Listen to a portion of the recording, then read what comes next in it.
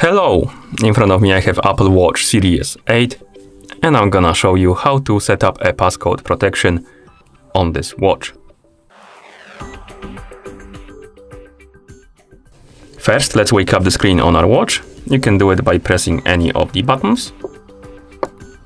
Once you wake up the screen, press the crown button to open the menu, then scroll through the menu, find the settings icon and tap on it to enter the settings. In settings, scroll down and find the option called passcode. And tap on it. And here you have the option called turn passcode on. Tap on it. This will bring you to this page and basically here we can enter the passcode we want to use to unlock our device. So let's enter this one, then tap on use code, enter it again. And once you enter the uh, passcode twice, it should be enabled. As you can see, we have the option to change the passcode now or turn it off, which means that the passcode is enabled. We can go back to the watch face, uh, turn off the screen, wait second or two for it to lock.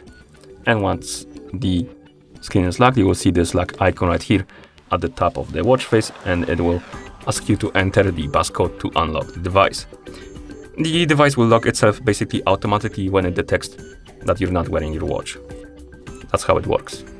Okay.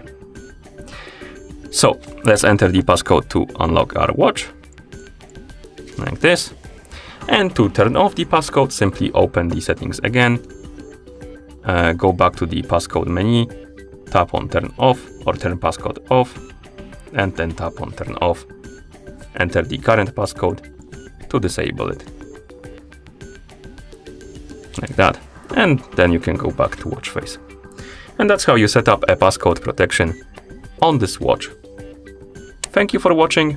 If you found this video helpful, please consider subscribing to our channel and leaving a like on the video.